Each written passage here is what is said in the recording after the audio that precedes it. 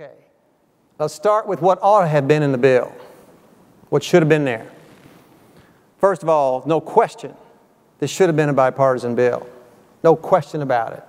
Go back to that John Chafee, Bob Dole bill in 93. It is very close to what we just passed. Why wasn't it bipartisan? Well, I'll leave you to some time, some time in the bar to work out who shot John, but I'll just say this. Kennedy's illness was the tragedy here because he and Orrin Hatch have a very, had a very close personal relationship, and I know from their age they talked every day as long as Kennedy could. And every day after that conversation, they told their aides to work this out.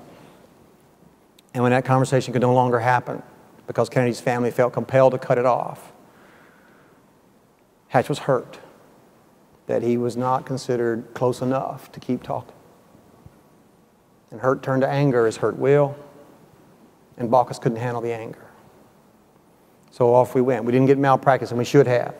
We didn't get SGR fixed, and we should have. We didn't talk about advanced illness care because it became death panels, and we should have. Therefore, all of these are things we got to do going forward. Second, who's going to treat these people? We should have had very serious loan forgiveness and encouragements to become primary care clinicians of all forms.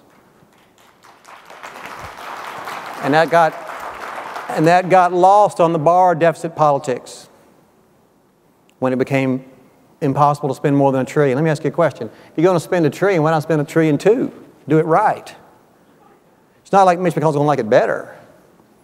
It's because it's a trillion as opposed to a trillion two. But anyway, that became, that's what happened. Okay, so here's what's there.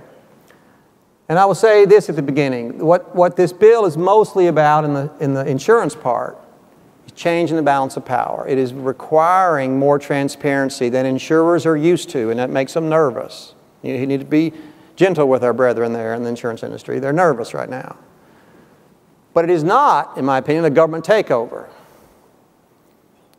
A government takeover is not 2,000 pages. Government takeover is two lines.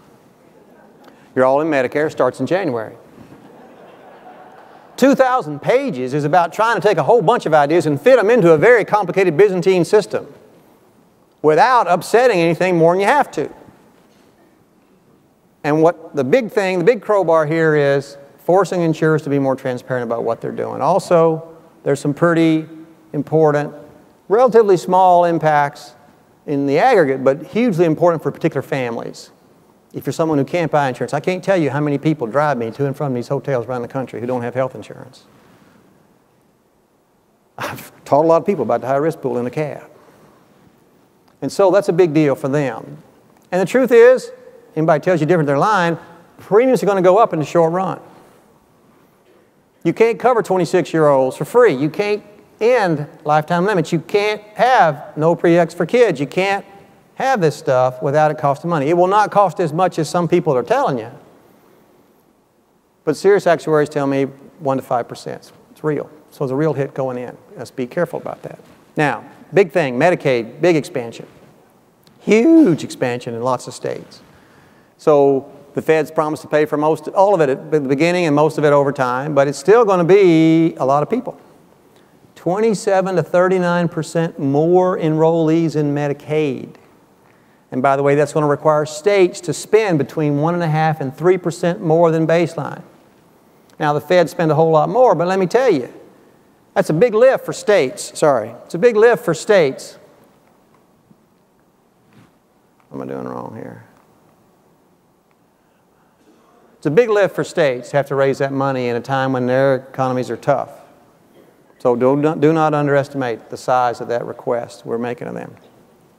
So then exchange, insurance reforms is really about creating a new marketplace. That's what an exchange is. For the parts of our market that don't work very well, non-group and small group. Essentially, it's about extending the risk pool and administrative economies of scale to all Americans that are currently present for those of us who happen to work for big firms. That's really what it's about. And that, of course, requires that you say to insurers, you have to take all comers. You have to change the business model have to take all comers. But you can't tell insurers you have to take all comers unless everybody comes. Otherwise, you're forcing them to take a risk pool that is not sustainable. And if we've learned nothing from the good sisters, we have to learn stewardship. So we've got to make it sustainable. So we've got to have a requirement that everybody buys. So the individual mandate is not some plot to put the jackboot of federal tyranny on the neck of those boys up in trees in Idaho. It is really about trying to make private insurance markets work with rules that serve us all.